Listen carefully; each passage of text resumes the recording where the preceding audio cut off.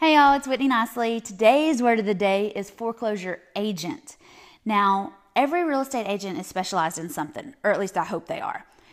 The foreclosure agents have gone to special training. They've got special designations that say they know how to use the software to be able to help you buy a house out of foreclosure.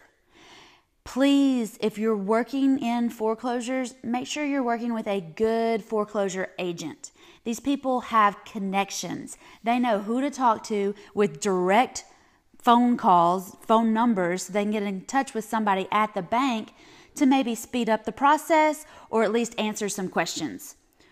The bank, the government, whoever's in charge of the foreclosure, they have specialized agents, real estate agents, realtors out there working on their behalf.